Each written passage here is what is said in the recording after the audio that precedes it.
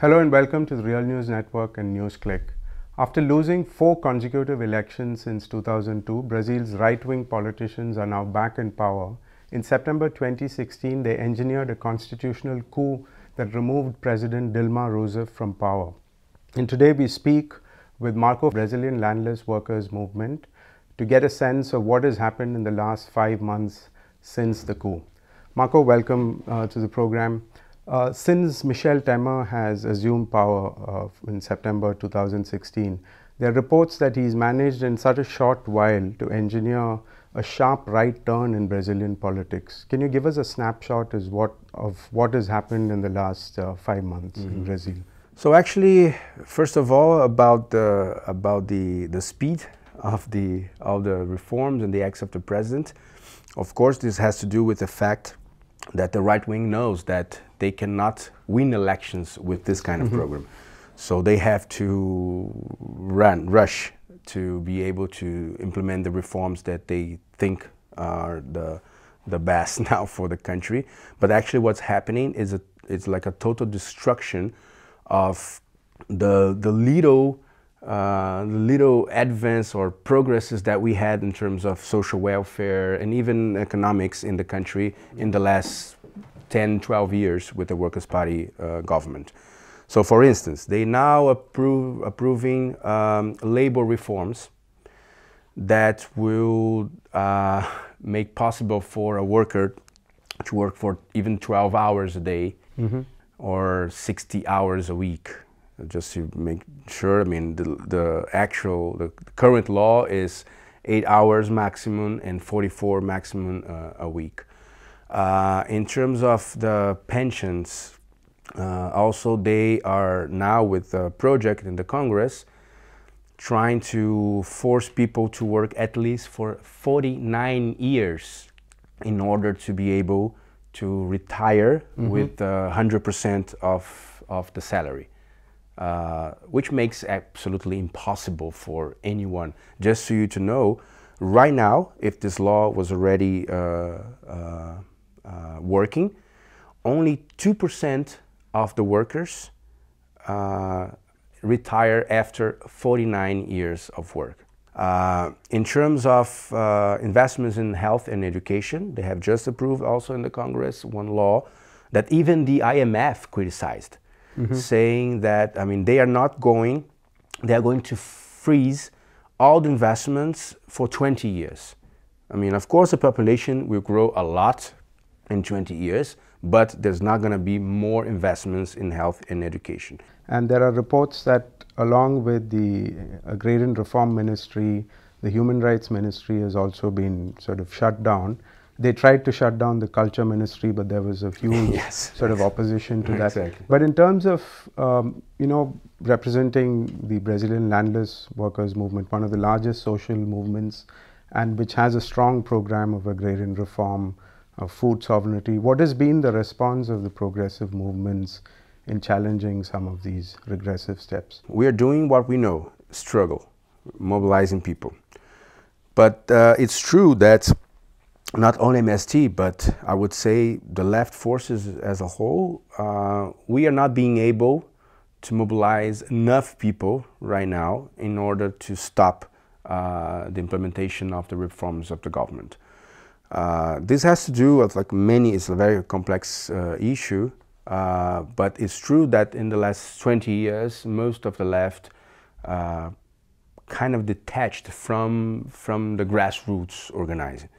So I guess now it's reflecting mm -hmm. this uh, this incapacity of have like huge mobilizations against uh, the neoliberal agenda that's being is being forced again uh, to the population.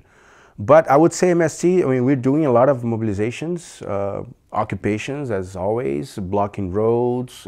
we are also part of uh, of uh, so-called Frente Brasil Popular, popular Brazil, People's Brazil Front, mm -hmm.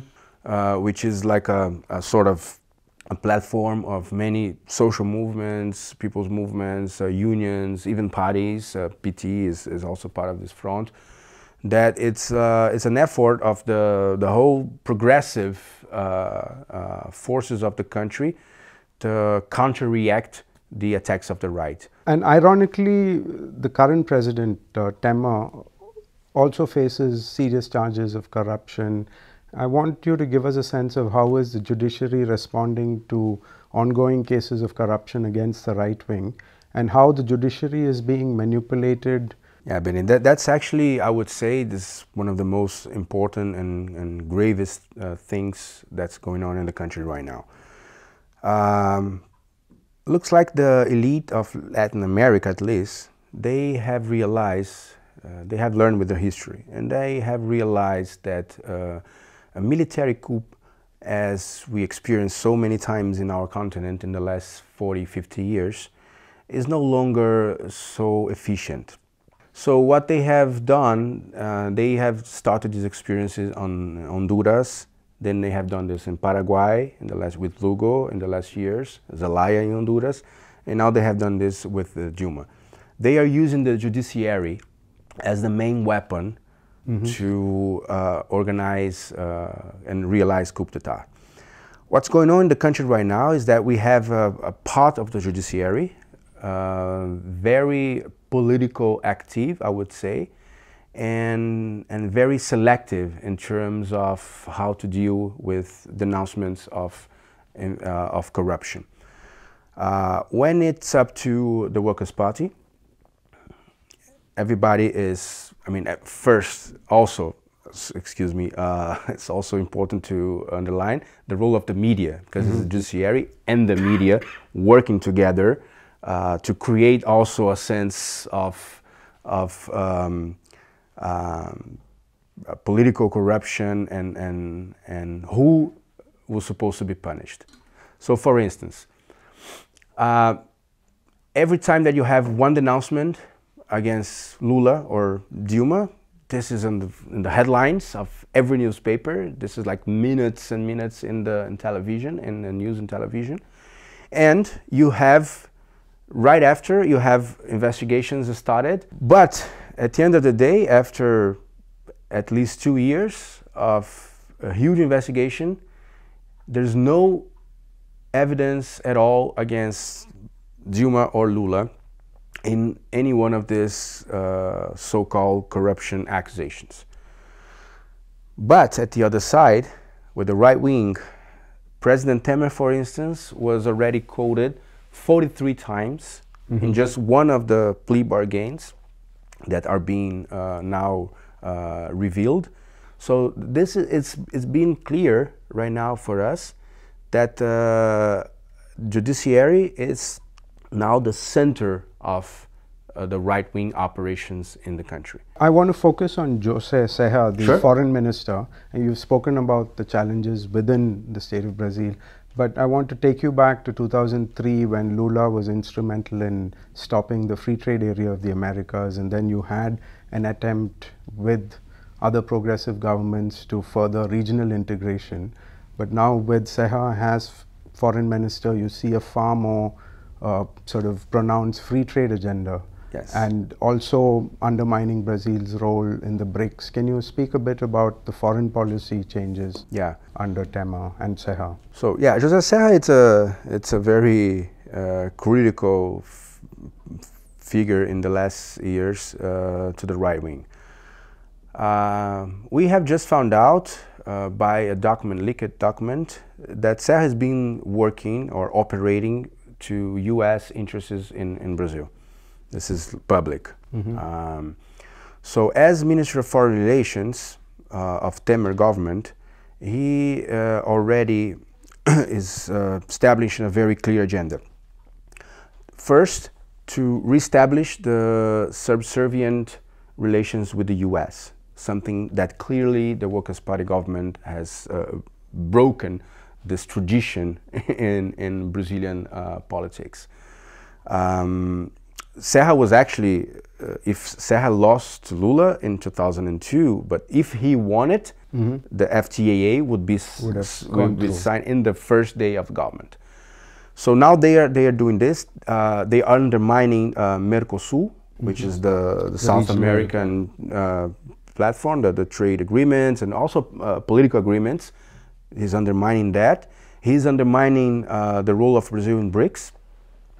Actually, as you know, he didn't even know what BRICS was. There's mm -hmm. like a mm-hmm. famous uh, uh, video of him. And uh, I mean, to sort of conclude, you've spoken about um, the response of social movements. I want you to sort of reflect a bit about the more institutional left party response to the crisis uh, that you see in Brazil, not just in Brazil, but across Latin America now, where you have an upsurge of, of right wing parties.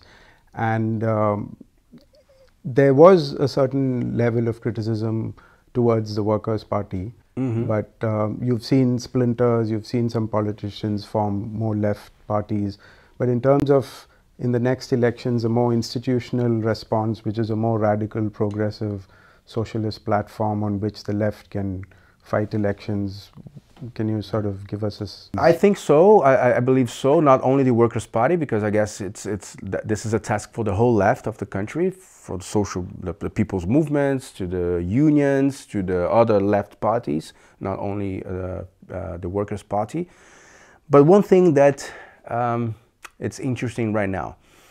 You know that the main the main fear of the right wing right now, it's Lula, mm -hmm. still Lula, because right now he seems to be the only person able to defeat the right in 2018. Just so you to know, in the polls, all the polls, he is by far the first place, 35% of the intentions of vote, and the second one has 18% or even less. Uh, we still don't know what's what's going to happen. Um, there's many uh, speculations that I mean, Workers' Party should not run alone, but as part of a front mm -hmm. of parties and okay. movements. I think this would this is maybe is more likely to happen. Uh, but Lula is still the name, and it's not by chance that the main tactics of right wing right now regarding the next elections is to put Lula in jail. Mm -hmm every day they try, they think about one strategy, a different strategy, but they know that if Lula is not in jail, it's very hard to defeat him in the next elections. So, but one thing, of course, it's having Lula. The other thing is the program. Yeah. I think this is the main task for the left right now. So it's clearly a very critical juncture in Brazilian politics and sort of very interesting and challenging times for the left and Thank you very much yeah. for speaking with us.